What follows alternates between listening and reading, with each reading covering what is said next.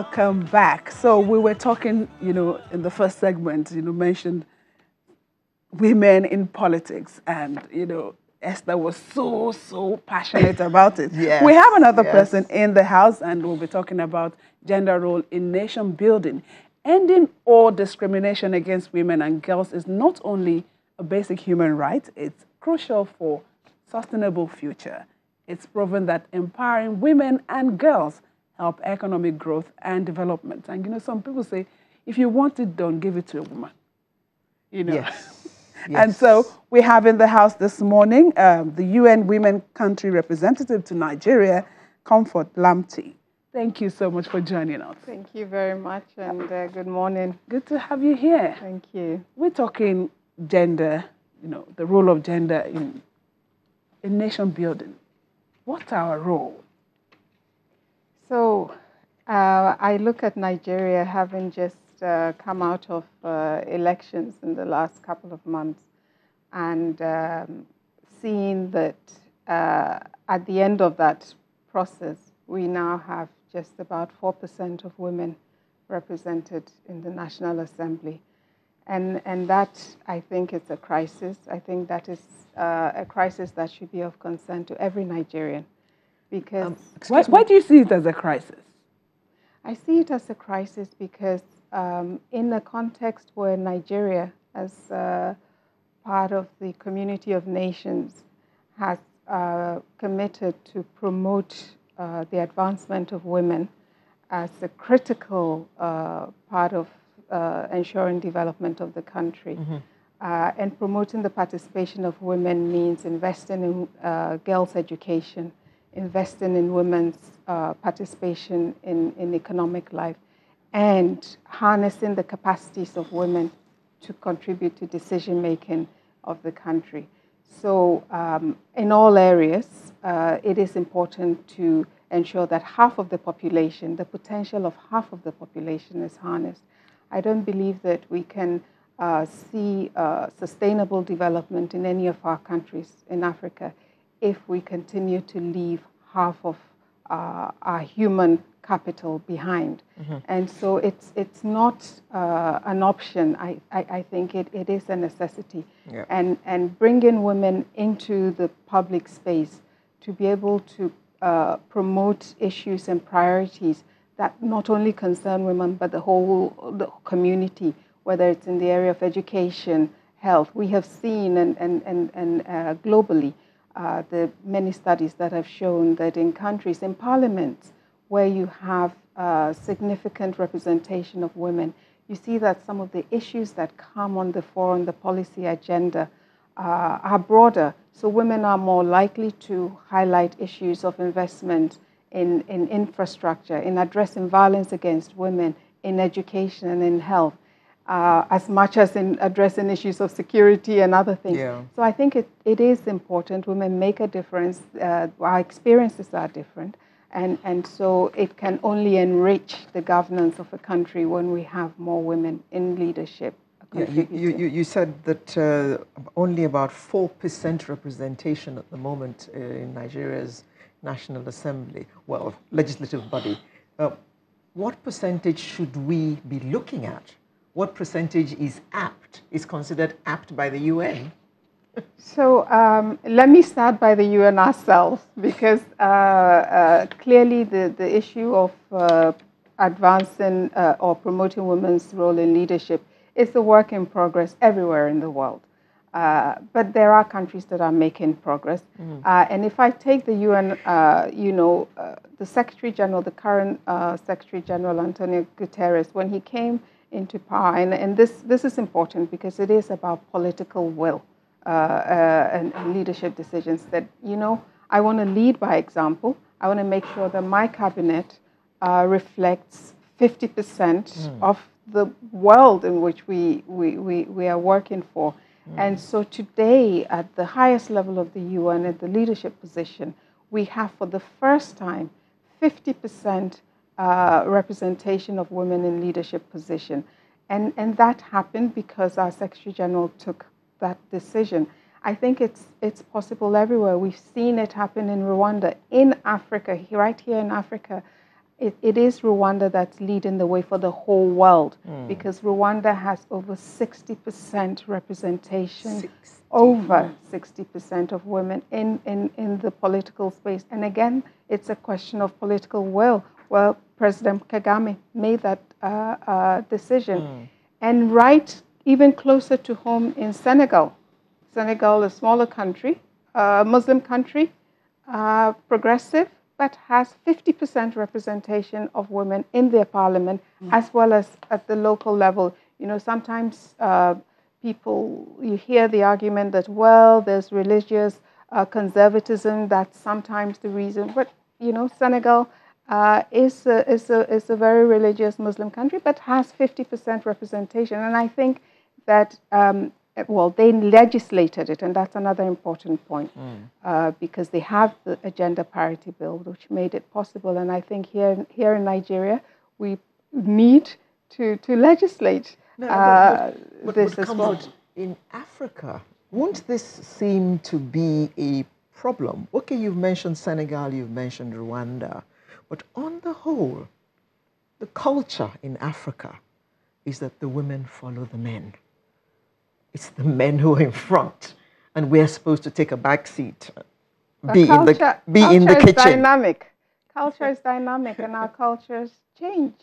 Uh, I, I think that uh, uh, there are things that were considered culturally acceptable uh, 50 a years decade ago. ago. and today are not. Yeah. Uh, even in Africa, uh, even as you say in Africa, I, I mean, I think in West Africa, uh, I would say that our uh, picture is probably uh, less rosy than in other parts of Africa because when I take Eastern Southern Africa, many there are many countries where we we have a significant representation of women in politics, from South Africa to Uganda to Botswana, uh, you name it, Tanzania, you know.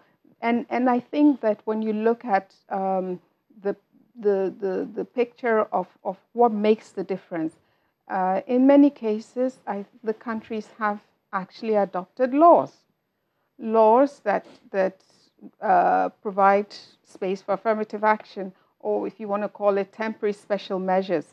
The idea of uh, um, having a law that requires you to have a certain percentage of women in, in politics and decision making is premised on the fact that if you don't do that, if you're just waiting on, on, on the goodwill because of things like culture, because of uh, uh, the way we've been doing things, the discriminatory practices, and so on, it will take longer. And so you you legislate and you have temporary measures until you get to a stage where you have a critical mass. Now, in, in, in the UN, we could, as, as you said, we are aiming for equal participation. But uh, studies have also shown that in any context, you need a critical mass to make a difference, to make your voice heard. So if- you had a, a room of 20 men and one woman, it's very difficult for that woman's voice to be heard. Yeah. Now, take that same room and have 12 men and 8 women. You have more of a chance because you have a critical mass of women. And so it makes a difference uh, in terms of even women's ability to, to, to engage and influence a, a, situation if you have more numbers. So, in a situation where we already have um, cultural issues, social issues, you know, stashed up against women, um, of course, nobody's going to serve you this position on a platter of gold. How prepared are the women to take up some of these positions? Well, if the uh, what I I witnessed, uh, and it was my first uh, electoral outing in Nigeria.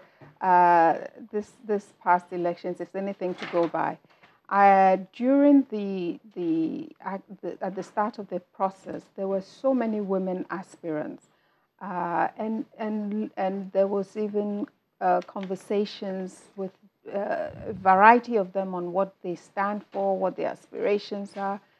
Indeed, I saw so many uh, excellent women. I don't think Nigeria is not short of uh, uh, women of excellence. I, I believe that they're very strong, um, dynamic women, women who stand to promote women's rights in Nigeria. And so I think there are women who are who are prepared and, and, who have what it takes.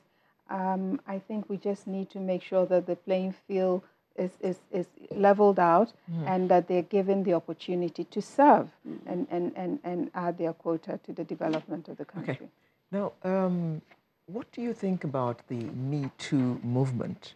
And can you see that ever happening anywhere in Africa?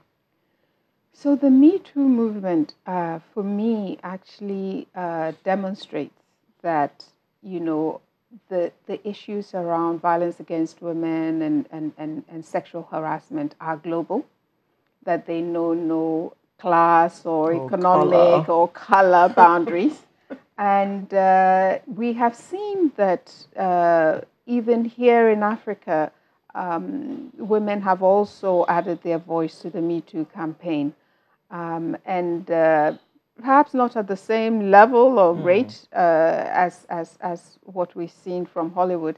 But even here in Nigeria, uh, we've seen, uh, I believe you may be familiar with the Arewa Me Too movement mm. from uh, northern Nigeria, which mm. also has started uh, the conversation around issues of sexual harassment facing women in northern Nigeria and, and, and we've seen in countries like Kenya and South Africa and, and, and so and Senegal, uh, women have also stood up in, in, in the wake of the Me Too movement to actually also raise issues around sexual harassment and so on. So I think uh, it resonates with, with us in here in Africa as much as it does uh, in Europe.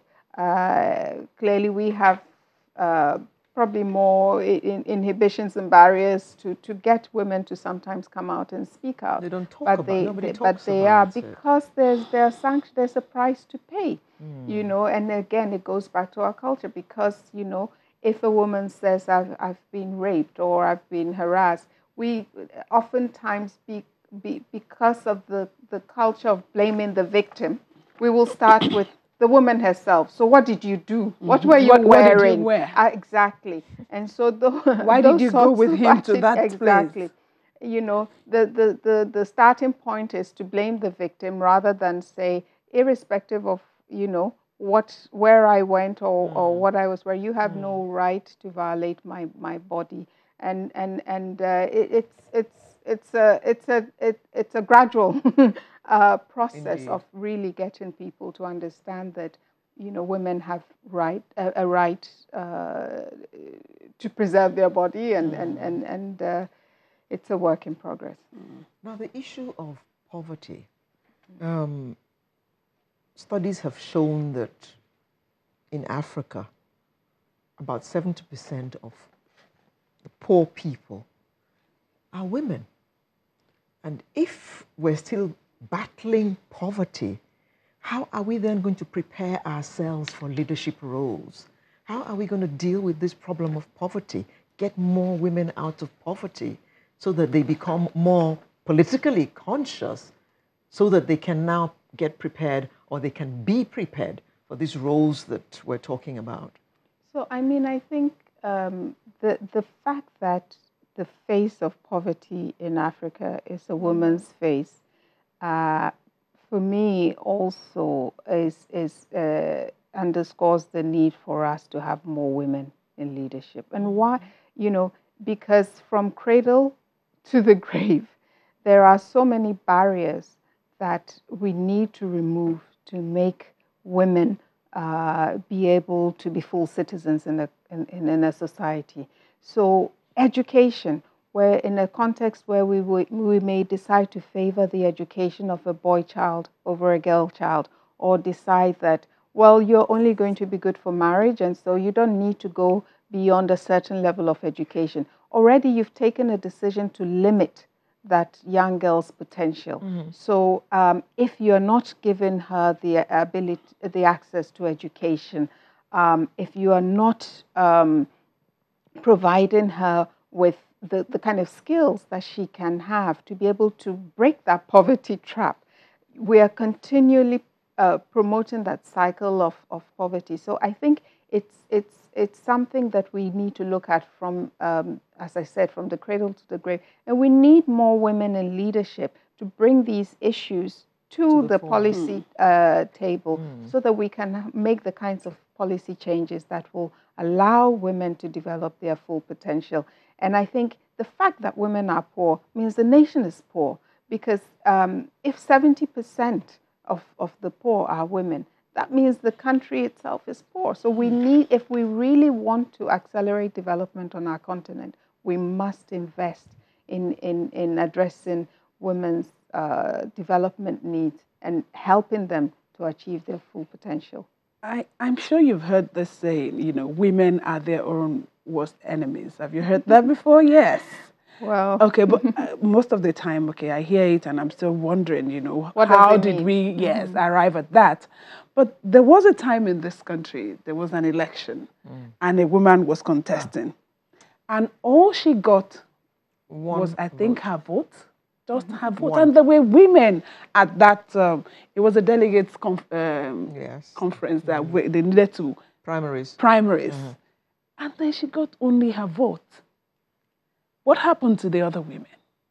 How do we support ourselves? So I think, I wish you, I, you know, I think when women are running for office, it would be great for them to get votes of women. Uh, running for uh, on on on issues based uh, campaign, running issues based campaign about issues that are important to women. But I think it would be important for men to also vote for women uh, and see women as leaders uh, of both women and men. Mm. Now, um, I, I believe that we as women are as much products of our culture as the men are, and the the things uh, or the the, the cultural uh, practices that we may consider uh, archaic or, or, or, or, negative to, to, to our development uh, have been internalized by women as well uh, as men. So, in as much as a man may say, No, your role is in the kitchen, I don't see you as uh, the person uh, leading a, a, a, a, country or uh,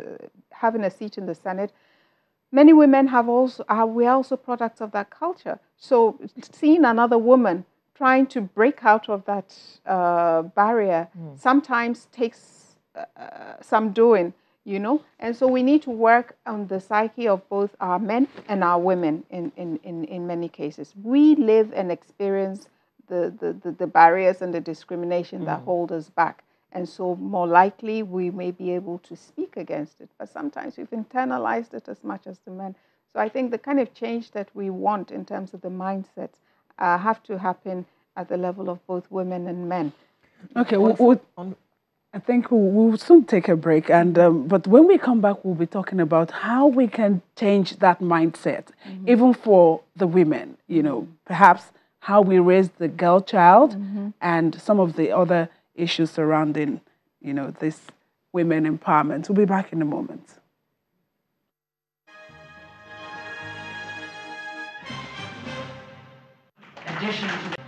Welcome back. Quite a number of issues, you know, raised in that report, and um, I see that you, you, were part of that. You know, what from that meeting, what did you get as a feeling as to where the women, you know, are pushing forward to?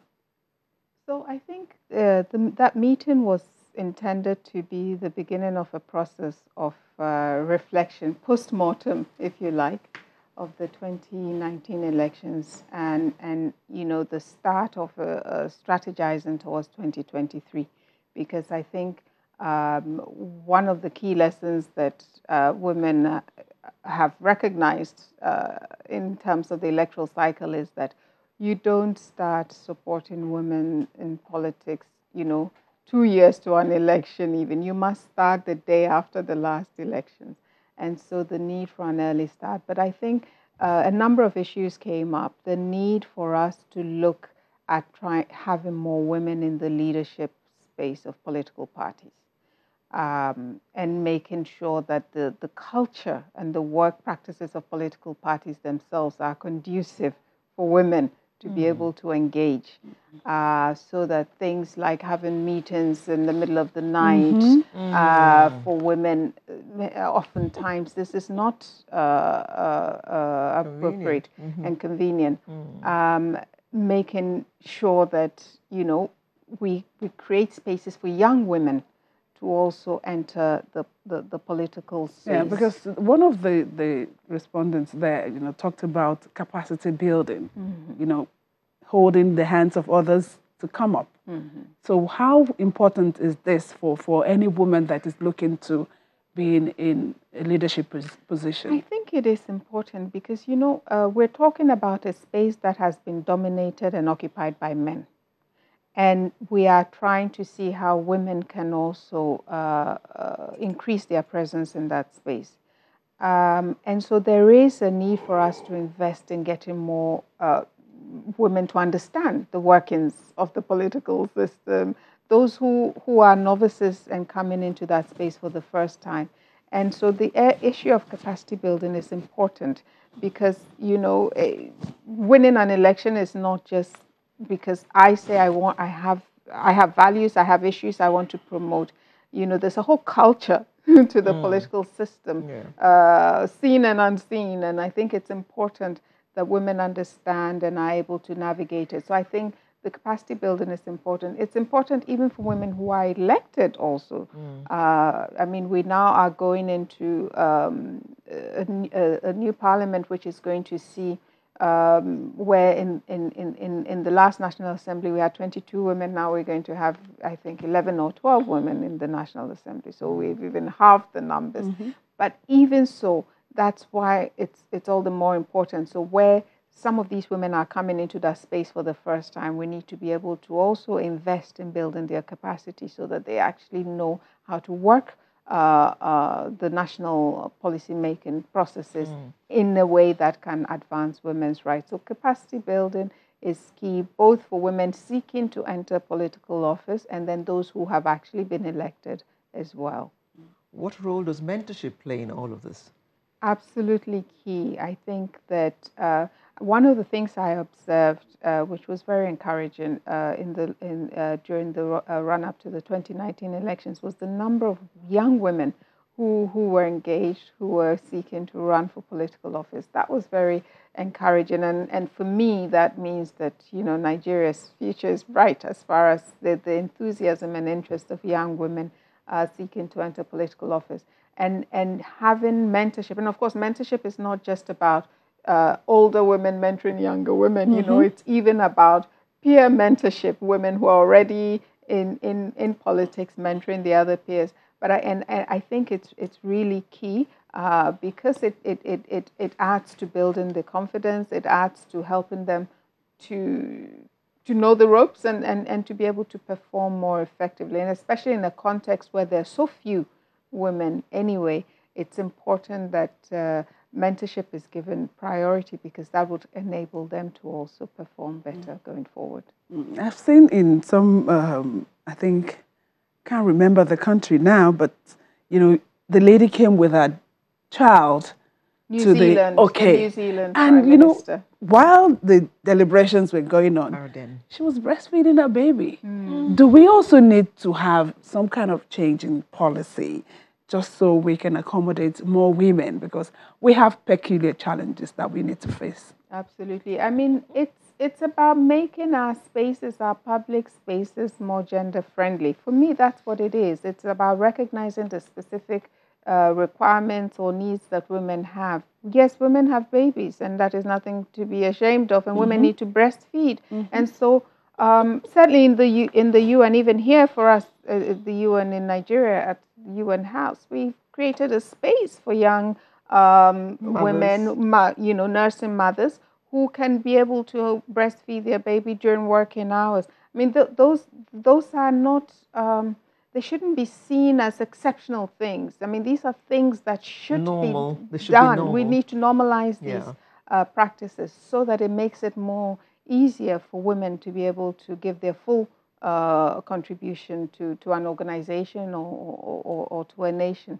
And, and, and, and it, it, you know, in every, at every step of the way, and this speaks to our institutions, is what we're talking about politics when you're having meetings in the middle of the night for a woman who may have a young child at home or a husband who may be reluctant to see the wife going mm-hmm. to have a mm-hmm. meeting in the, the 3 a.m. so we need to look at, okay, so what time then is most convenient? We need to ensure that we take the, the realities of women into account when we are making these decisions so that uh, it works for women as much as for men. You know, every time they say uh, politics, murky waters of politics, mm. how many women can swim in it?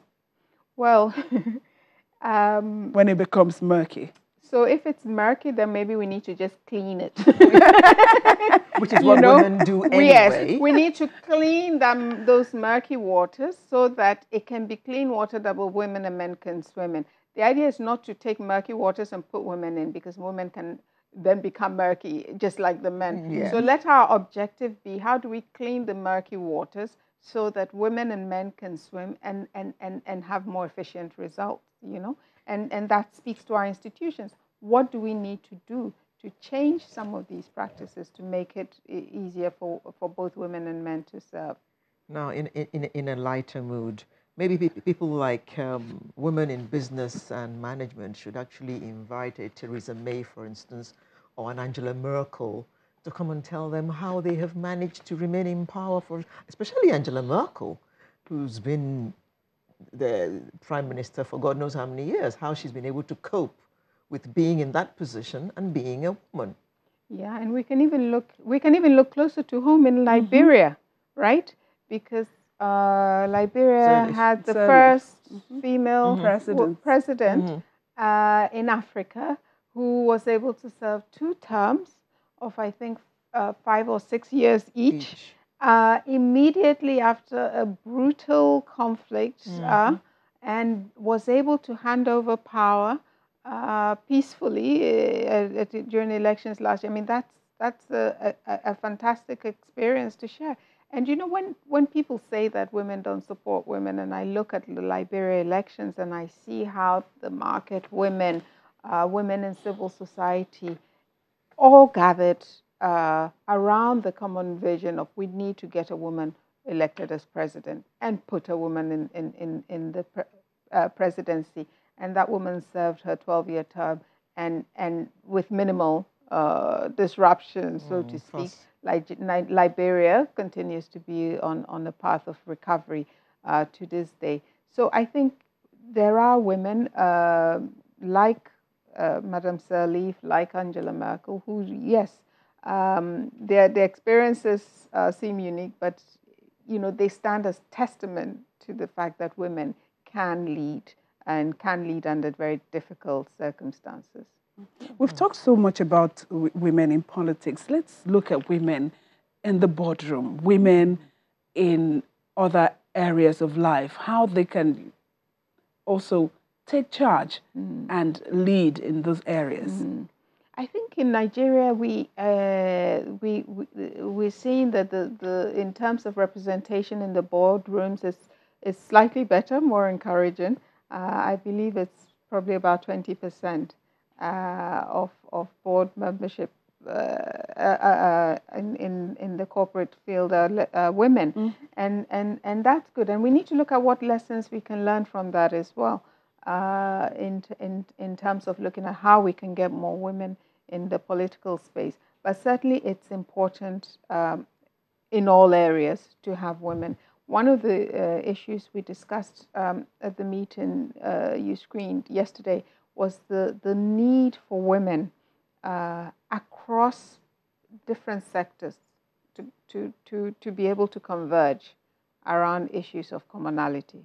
So, if you're a woman in the private sector, you're a woman in the media, your women working in CSOs, your, work, your women uh, in, in politics.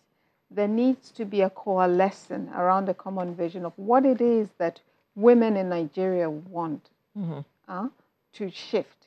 And, and that the power and the force of that coming together, irrespective of the sector you're coming from, would really make a tremendous uh, difference in terms of the development of, of, of, of the country. And, and it's particularly important at this time because, you know, next year is going to be 25 years since um, the world met in Beijing, Beijing. China. Mm-hmm. Yeah. Uh, you know, to adopt the, the, the, the Beijing Declaration and mm-hmm. Platform for Women. I, I've been speaking to many young women uh, in recent months, and you ask them, "So, do you know about the Beijing conference?" And they don't. Mm-hmm. And and and I think you know the 25th anniversary is actually a moment uh, for us to look at handing that torch to young women. Mm-hmm. What kind of world, what kind of a Nigeria do young women want to see in the next 25 years? You know, because this is going to be their agenda to drive.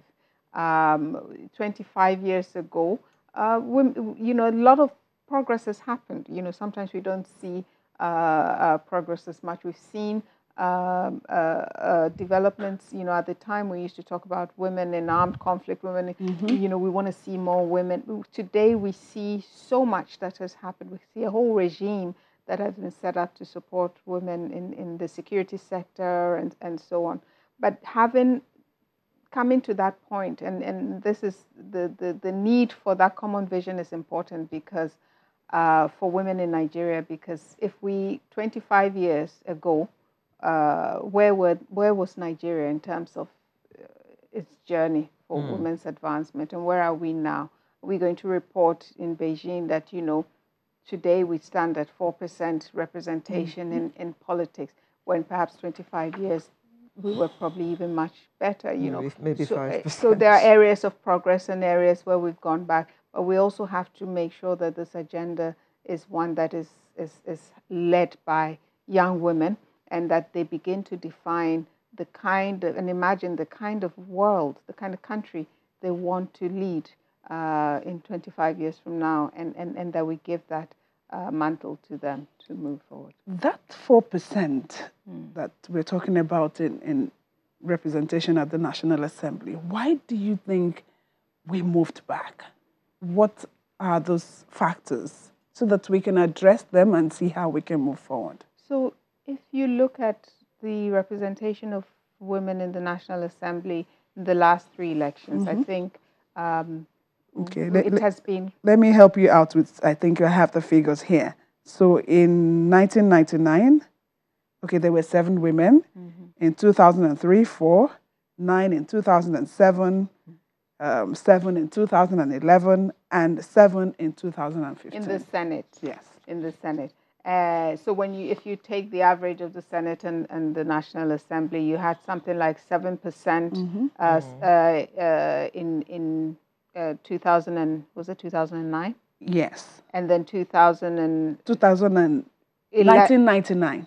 No, 2011. Mm-hmm. Uh, then 2015, you had something like 5.6%. No, I'm taking okay, the average okay. of both Senate and, and okay. House of Reps. And then now you have 4%. So you would see that in the last three electoral cycles, we've gone backwards yes. progressively. Why? We can't yes. go and and and and this is what um, we've got to try to to to analyze. I think the system itself it's it's it's it's not conducive. Uh, that we need to maybe re-look at the structure of, of the, the, the, the machinery of mm-hmm. politics and electoral politics in Nigeria and say what is it about that that is hindering uh, the rise or, uh, of women in such a system? And what do we need to change to make it uh, because women complained from the primaries uh, from the stage the primary stage. Then we, we already knew that women were not going to uh, emerge in any significant numbers mm-hmm. because so many of them were eliminated at that stage. Because at the end of the primaries we only had 31 women mm. from the uh, two leading parties so you knew that uh, at most only a third of them were going to make it through and so, what is it at every stage of the system? This is what I'm talking about. We need to look at the uh, political parties, uh, their systems, their structure, their culture, their practices, uh, and we need to look at uh, the electoral law and how that can also be uh, amended to, to make it possible for women to, to, to participate. And then we need to look at the nature of politics itself, the, the whole issue of monetization of politics, the, the, the transactional nature of uh, yeah, uh, because uh, I was just practice. thinking, could it also be an issue of money? You know, politics. Okay, we're talking about Nigeria. It's expensive, mm. and so how many women are able to, you know, muscle such amounts of money to be able to expend that's, that's, on elections? That's, that's the reality, and we talked earlier about the, uh, the the level of poverty afflicting women generally, you know, women are poorer than men, mm. and and and and uh, women have less access to resources than men. So they are already disadvantaged. So if you make money one of the key criteria mm. for success in this game, you're already disenfranchising a lot of women. So all of these are factors that really uh, continue to hold women back, and we need to interrogate all of them and see how we can make it more. Uh, I was smiling as you were talking about uh, amendments to the electoral law and you know stuff like that, and I'm thinking, but basically, the bodies that are responsible for all these changes, uh, the bodies are all peopled by men. So are the men going to just open the door for, for the women to walk in? Well, you know, this is, we, we have to, we are in a context where in Nigeria we have to look at the men who are progressive. Uh, men have daughters. Right? They have wives. Uh, they have mothers. And they, they, they, they, they have aspirations for their daughters. And what kind of a, a Nigeria do you want your daughter to grow in? Uh? And, uh, uh or, or what kind of uh, uh, limits do you want to grow, they might put on your they, daughter's they might potential? Say that's sentiment. Mm-hmm. Yeah, but it's, it's true. This is what we're talking about. In the same way that you may not want somebody to put a barrier in, in, in, in, your, your, your, daughter's, daughter's way. way. You need to look at the country, the nation in the same way and say, how do we create and open the doors and opportunities for women? So we are going to need to uh, count on, on the support of men, uh, uh, uh many of the progressive men, and I believe there are many of them in Nigeria who can really work with the few women uh, within government and outside to bring about some of these changes. Mm. Okay, we, we are winding down now, but let's quickly talk about, you know, the UN Women, the things that you do for gender in Nigeria. Quickly. So, okay, so UN Women, uh, as you know, we are the UN uh, agency for women.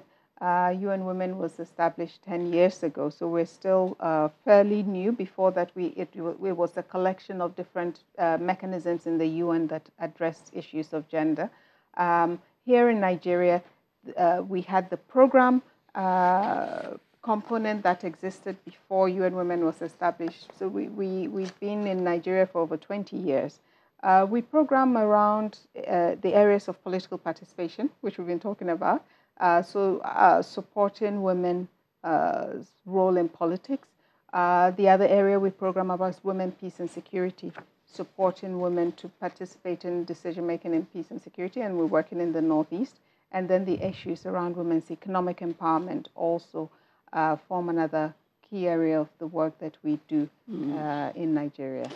Okay, we'd like to say well done, and um, we're hoping that all of this will yield more fruits and we can see more women in politics. We've been having a chat with the UN Women Country Representative in Nigeria, Comfort Lamptey. Thank, Thank you, you, for coming. Thank you very much for having me. Thank you. Okay, Sunrise we'll go on a quick break and we'll be back with another topic, and um, it has to do with celebration. We'll be back.